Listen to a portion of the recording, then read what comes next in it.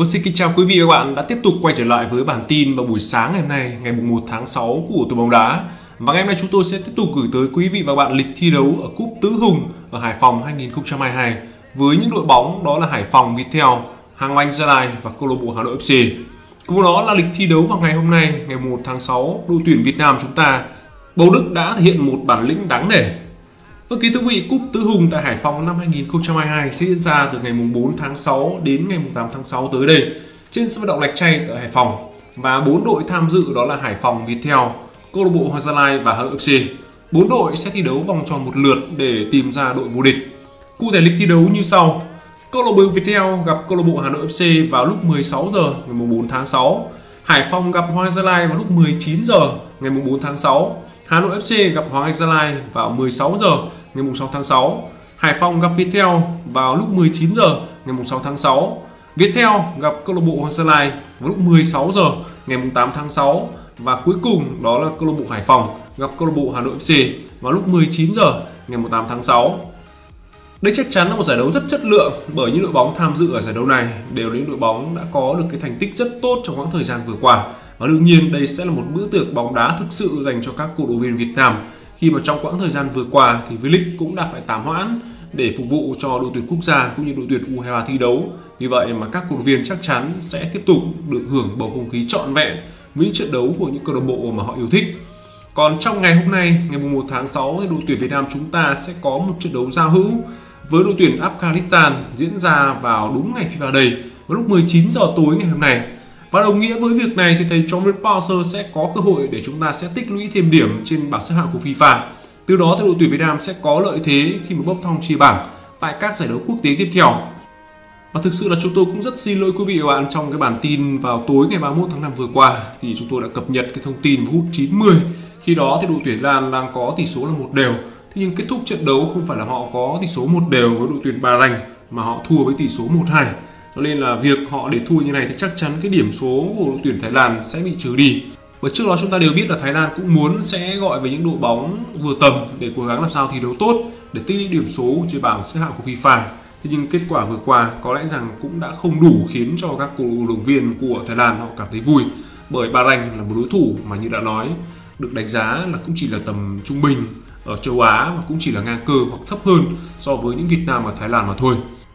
Và để nói về trận đấu vào buổi à, chiều tối ngày hôm nay của đội tuyển Việt Nam chúng ta thì à, trung vệ Duy Mạnh đã có một nhận định rằng đây là trận đấu thuộc khuôn khổ của FIFA đây, một trận đấu giao hữu được cộng điểm trên bảng xếp hạng FIFA và trận đấu này có thể là rất bổ ích. Tất cả những cầu thủ đang sung sức cố gắng tập luyện thật tốt để có trận đấu sắp tới. Chúng tôi rất vui và vinh dự khi được nhận sự ủng hộ từ khán giả nhà. Hy vọng rằng cổ động viên sẽ có được một trận đấu hay. Dù đội tuyển Việt Nam thi đấu ở Hà Nội hay thành phố Hồ Chí Minh thì khán giả vẫn đến sân rất nhiệt tình và đây là động lực để cho toàn đội thi đấu tốt hơn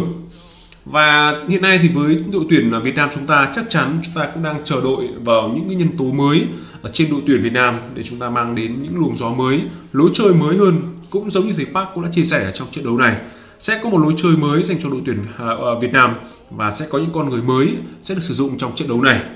À, như được biết để chuẩn bị cho trận đấu giao hữu với đội tuyển Afghanistan vào tối ngày hôm nay thì Tây Park đã gọi lên rất nhiều cái tên mới ở hàng phòng ngự cũng như đó là ở hàng tiền vệ. Trung vệ Adriano Smith đã được triệu tập ở hai trận đấu cuối cùng thuộc vòng sơ loại thứ ba World Cup 2022 khu châu Á.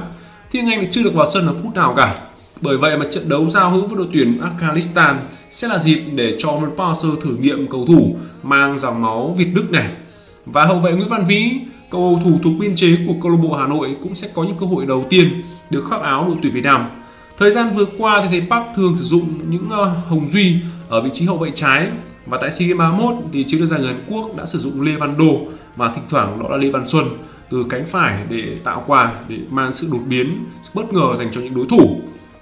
Tuy lúc này thì Lê Văn Đô đang được triệu tập trong đội tuyển U23 Việt Nam để chuẩn bị cho vòng chung kết U23 châu Á Á 2022. Còn vừa qua chúng ta đều biết là Lê Văn Xuân đã gặp một chấn thương khá nặng mà chắc chắn sẽ không thể thi đấu trong thời gian tới được. Vì vậy mà bàn Vĩ sẽ có được cơ hội để ghi dấu ấn với Huru trong trận đấu với đội tuyển Afghanistan. Cùng với đó thì rất nhiều cầu thủ trẻ khác như Trần Đình Khương, Trương Văn Thái Quý cũng sẽ có được những cơ hội để thi đấu. Và đây là những cầu thủ mà cũng đã có những thời gian được thi đấu tại vòng chung kết U23 châu Á 2018 ở Thường Châu. Và đương nhiên chúng ta đang rất mong chờ những cầu thủ này sẽ tỏa sáng giúp cho đội tuyển chúng ta sẽ có được một kết quả tốt. Còn uh, câu chuyện liên quan đến bầu đức ông thực sự có một bản lĩnh quá tuyệt vời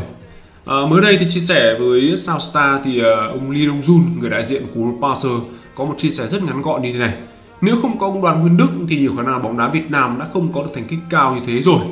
Và rõ ràng trong những câu vừa qua mà người đại diện Lee Dong Jun của Passer có chia sẻ thì anh nói rất nhiều đến những từ xin lỗi tôi không thể trả lời được khi mà hỏi rằng là cảm xúc vừa qua của anh với những câu hỏi liên quan đến hợp đồng của Passer thì cũng rất là ngạc nhiên khi mà một người đại diện của Passer thôi lại dùng đến tận 4 lần dùng từ tôn trọng và rất nhiều lần nói từ cảm ơn dành cho bố Đức. Và một người Hàn Quốc mà lại cảm ơn bố Đức thì chắc chắn đó là một điều rất đặc biệt với cả bóng đá Việt Nam. Và Lee Dong Jun không chỉ nói cảm ơn mà còn nói rằng rất cảm ơn và rất tôn trọng những gì mà ông Đoàn Nguyên Đức đã làm. Ông Đức là một người tiên phong của bóng đá Việt Nam và ông Đức tạo ra xu hướng mới mà những đội bóng Việt Nam đi theo ông Đức. Tôi mong rằng sẽ có thêm nhiều ông Đoàn Nguyên Đức nữa nhiều người như ông Đoàn Như Đức làm được thì chắc chắn bóng đá Việt Nam sẽ còn phát triển. Và phải chăng bố Đức là người đã bỏ công sức mời ông Park đến Việt Nam rồi trả lương cho hai năm vừa qua, cho nên là ông Lee Dong Jun khen ngợi như kiểu lấy lòng. Nhưng chắc chắn là không phải. Với những người thực sự tâm huyết thì họ không bao giờ nghĩ đến cái câu chuyện đó đâu. Vào năm 2010 năm thì bố Đức đã tuyên tuyên bố rằng, tôi nói thẳng rằng là tôi đủ sức làm và sẽ làm tốt ít nhất là cũng phải thắng được Thái Lan. Tôi sẽ làm vì tâm huyết của mình không tiếc tiền của và công sức giúp cho bóng đá Việt Nam phát triển mạnh mẽ hơn. Và theo bầu Đức thì ông sẽ làm hết mình, đầu tư toàn bộ tâm huyết, tiền bạc để thấy bóng đá Việt Nam chúng ta thành công và thắng Thái Lan. bầu Đức làm vì niềm tự hào dân tộc và làm vì khát vọng của một người yêu bóng đá. Và trong quãng thời gian này thì bầu Đức buồn trước những suy nghĩ kiểu ghen ghét, đố kỵ dù ông đang rất khao khát để nâng tầm bóng đá Việt Nam. Và đây chính là sự chăn trở lớn của bầu Đức, thậm chí là gánh áp lực rất lớn dù làm việc cũng chỉ vì cái chung thôi để phát sự phát triển của bóng đá Việt Nam và thực sự nếu không có bản lĩnh và cái sự quyết tâm lớn của Bầu Đức, thì chắc chắn là chúng ta, bóng đá Việt Nam đã bị bỏ xa tại San Kim 2029 rồi.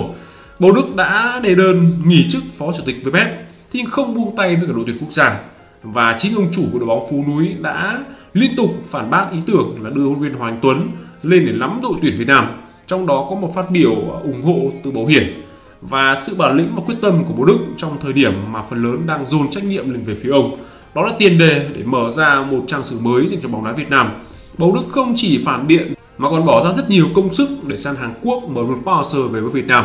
Mà phần còn lại là câu chuyện về 5 năm vinh quang của bóng đá Việt Nam dưới thời của thầy Park. Và có câu chuyện đặc biệt về bố Đức đó là ông chưa một lần xuất hiện cùng với Power trong lúc bóng đá Việt Nam giành vinh quang. Từ AFC Cup 2018 cho đến SEA Games 31 vừa qua, được tổ chức nhưng bầu Đức chọn cách đó là thầm lặng. Và ngay cả thời điểm thấy Park tái kiếp đồng thì bầu Đức cũng không xuất hiện. Và đó thực sự mới là đáng nể tới từ bầu Đức. Bầu Đức và thầy Park là một cái hành trình kỳ lạ với mối nhân duyên tiền định, một người đi xây mọi thứ và một người để chọn thành công. Và năm 2002 thì được biết, thầy Park cũng đã gặp rất nhiều những khó khăn ở Hàn Quốc và gần như là thầy Park đã phải rời tự do, đến mức là chạm đáy với những sự thất vọng thì cuối cùng, bầu Đức đến đã kết nối bóng đá Việt Nam với thầy Park một cách thực sự là vô cùng ngoạn mục. Và bầu Đức đã tạo ra một sự khác biệt dành cho bóng đá Việt Nam, thay đổi với lương tầm với lịch sau khi mà có một hợp đồng lịch sử mang tên đó là Kia và chắc chắn rằng một cái hợp đồng đó sẽ chắn khiến cho rất nhiều người cảm thấy choáng váng và ngỡ ngàng. Không hiểu vì sao mà Hoàng Gia Lai lại có thể đưa một tên tuổi lớn nhất của Đông Nam Á khi đó là huấn luyện viên đó là Kia để thi đấu cho Hoàng Gia Lai trong thời điểm bấy giờ và sau đó nữa thì ông đã đặt tiền móng với học viện Hoàng Gia Lai Asilan JMG rất nhiều những công trình khác lừng lẫy nữa mà Bầu Đức đã làm cho bóng đá Việt Nam. Bầu Đức thì cũng đã đề ra những quy định riêng cho học viện bóng đá Hoàng Gia Lai. Đó là cầu thủ cần được học văn hóa trước khi học bóng đá. Cầu thủ không chỉ được ăn học mà phải tốt nghiệp ờ, đại học và cầu thủ phải biết tiếng Anh. Đây là triết lý độc nhất vô nhị mà chỉ có Bầu Đức mới làm được mà thôi. Và hơn 10 năm ờ, dòng dã thay đổi từ V-League đến văn hóa bóng đá cùng hành trình đào tạo trẻ một cách thực sự khác biệt và cái niềm tin yêu của khán giả thì bố Đức đã gần như là đặt trọn vẹn cái nền móng và tiền đề dành cho bóng đá nước nhà để hướng đến thành công rạch rỡ như ngày hôm nay. Và chắc chắn nếu không có những sự thay đổi đó thì Repulsor cũng rất khó để mà cùng đội tuyển Việt Nam và U23 Việt Nam có những thành công trong gần 5 năm vừa qua được. Và càng nể, đó là chính bầu Đức đã bỏ công tới Hàn Quốc để mời ông Park về với Việt Nam. Và cách đây 3 năm thì thầy Park đã từng công khai cảm ơn Đức trong ngày tái kiếp đồng khi mà nói rằng Tôi nhớ giây phút này cách đây 2 năm khi lần đầu tiên gặp ông Đoàn Nguyễn Đức. Ông Đức là người kết nối nhân duyên cho tôi, có tình yêu bóng đá và tâm huyết lớn. Tôi luôn cảm ơn ông Đức. Và quả thực thì hiện nay mặc dù câu lạc bộ Hoàng Gia Lai đang không quá nổi bật với những cầu thủ ở trên đội tuyển, thế nhưng đã nói chính cái đèn móng mới là cái điều quan trọng nhất để giúp cho bóng đá Việt Nam chúng ta có được ngày hôm nay. Đừng quên ơn ông ấy, đó chính là điều mà chúng tôi muốn nói với quý vị và bạn trong cái bản tin ngày hôm nay. Vâng tới đây thì bản tin của tiểu bóng đá cũng xin được kết thúc. Xin kính chào và hẹn gặp lại quý vị và các bạn trong những bản tin tiếp theo của tiểu bóng đá.